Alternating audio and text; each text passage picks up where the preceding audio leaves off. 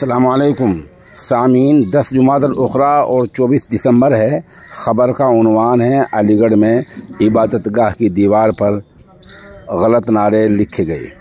जिनको पुलिस ने फ़ौर पुतवा दिया है, नारों को मिटा दिया है और फरीकैन को बिठाकर समझाकर घर वापस भेज दिया है। मौके पर पुलिस फोर्स तयनात है, फ़िलहाल हालात काबू में हैं। ख़बर तफसी सुनिए। उत्तर प्रदेश के अलीगढ़ महानगर के देहली गेट चौराहे पर वाक़ इबादत गाह पर मजहबी नारे लिखे जाने की खबर ने रात में यकायक तनाव का माहौल पैदा कर दिया। यहाँ आमने सामने भीड़ इकट्ठी हो गई। पुलिस ने पहुंचकर जैसे तैसे हालात पर काबू पाया।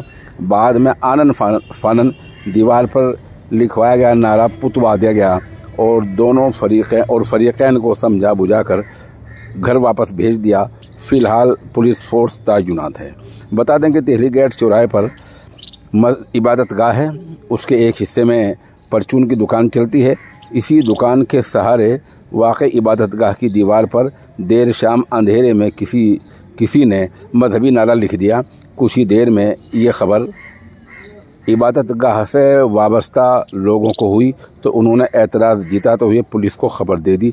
कुछ ही देर में वहाँ उनके हिमायत में तमाम भीड़ इकट्ठी हो गई। इस बीच दूसरे मज़हब के कुछ लोग भी आ गए। वहाँ आमने सामने भीड़ इकट्ठे होने लगी।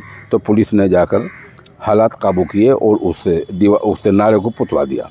इस बीच समाजवादी पार्टी के लीडर आमिर आबिद ने कहा कि दिल्ली गेट चौराहे की इबादत गाह की दीवार पर मजहबी नारा लिखने, लिखा है। ये काबिल मजम्मत है। इसकी हम मजम्मत करता हूँ। उन्होंने कहा, कुछ लोग शहर के अमन चैन में फलीता लगाने की बार बार कोशिश करते हैं, लेकिन इंतज़ामिया मुँह दर्शक यानी इंतज़ामिया खामोश तमाशाई है। मेरी मांग है कि ऐसे लोगों के ख़िलाफ़ कड़ी कार्रवाई की जाए।